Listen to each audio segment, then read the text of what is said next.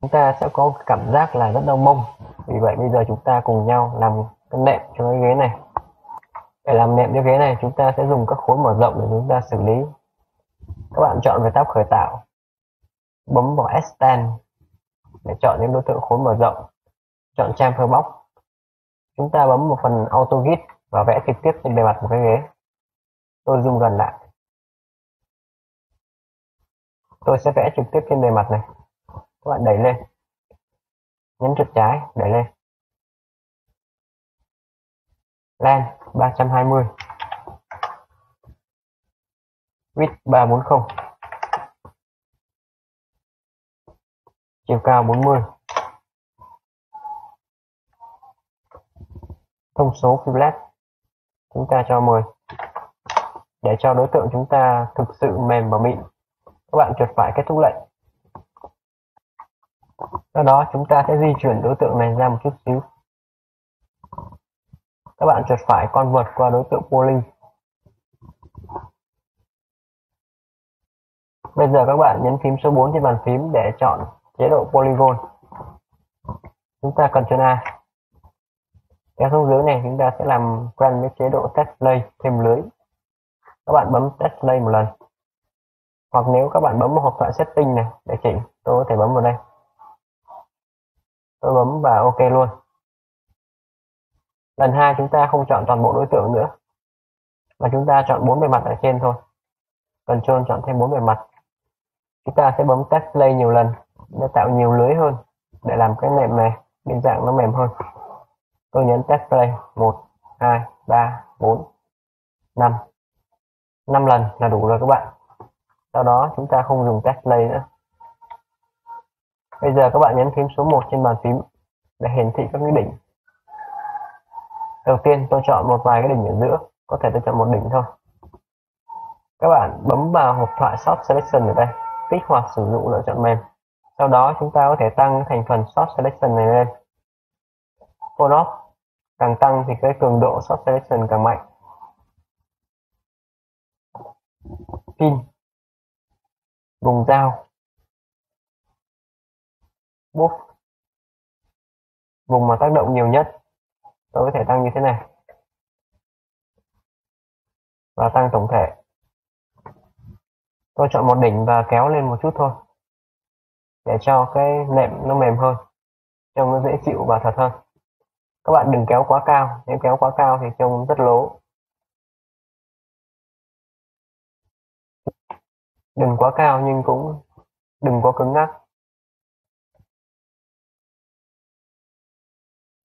Các bạn cứ thoải mái kéo. Nhẹ tay một chút là ok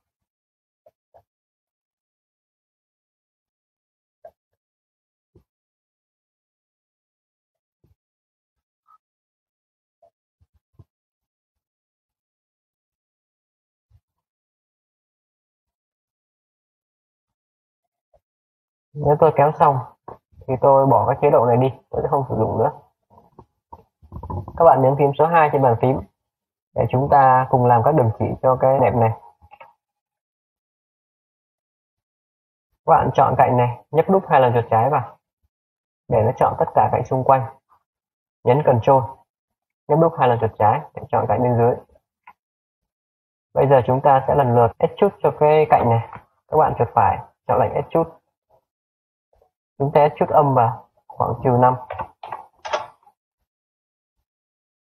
và độ rộng của nó là 2.5 enter.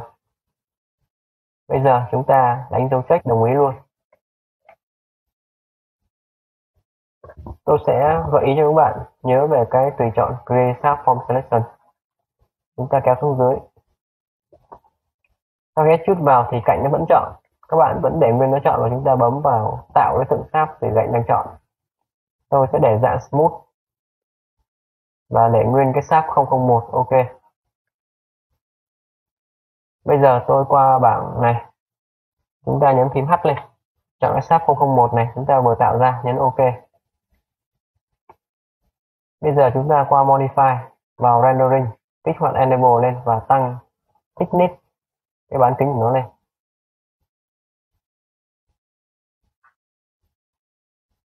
Khi tôi tăng lên, các bạn thấy ở đây nó tạo một cái đường chỉ, chúng ta có thể cho nhỏ lại một chút. Nó đẹp hơn. Sau đó chúng ta cùng nhau chuột phải con một đối tượng qua modify để chúng ta chọn cho nó dễ. Với đối tượng đẹp này, các bạn về vị trí số 2 các bạn cũng nhấp nút vào đây. Chúng ta chọn cạnh. Các bạn zoom gần lại. Nhấp nút hai lần vào bên dưới cũng thế, cần trôn nhấp nút. Đây cũng cần trôn nhấp nút. Tiếp tục ở đây. Chúng ta chuột phải vào chamfer cho nó một góc.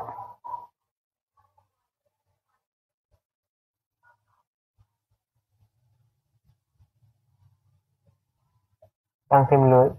Các bạn làm hết sức nhẹ nhàng thôi. Ok.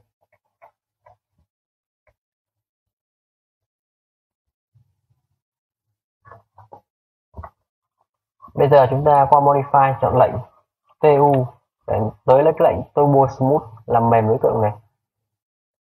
Thì ngay lập tức đối tượng chúng ta sẽ được làm mềm. Với biên dạng đường chỉ ở trong này, các bạn chọn một cái màu khác cho nó dễ chịu. Giả sử tôi sẽ chọn cái màu nghiêng xanh. Còn đối tượng này chúng ta chọn nghiêng tím.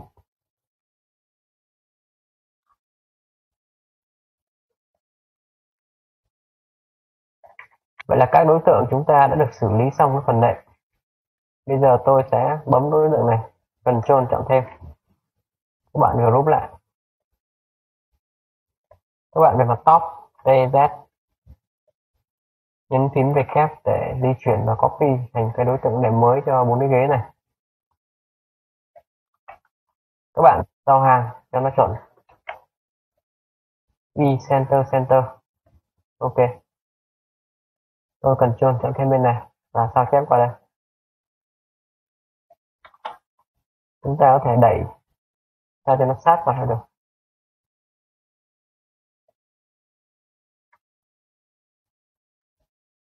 Vậy là chúng ta đã có những cái nệm để ngồi. Chúng ta lần lượt group tiếp các nhóm này lại.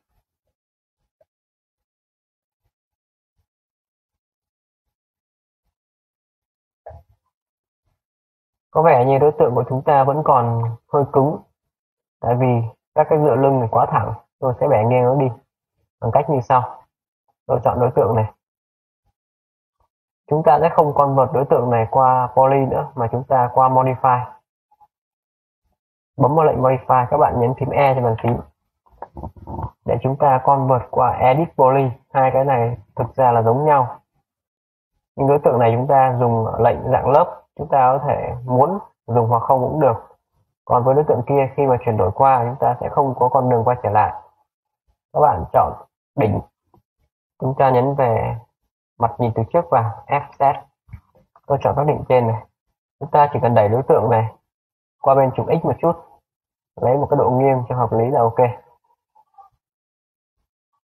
Khi xoay lên, nhìn nó cũng rất tự nhiên rồi. Không cần quá nhiều.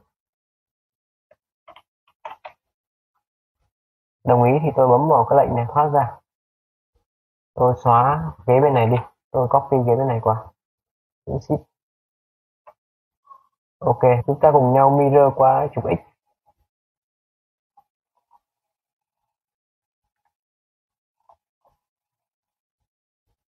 Bây giờ thì đối tượng chúng ta rất tự nhiên rồi đúng không các bạn.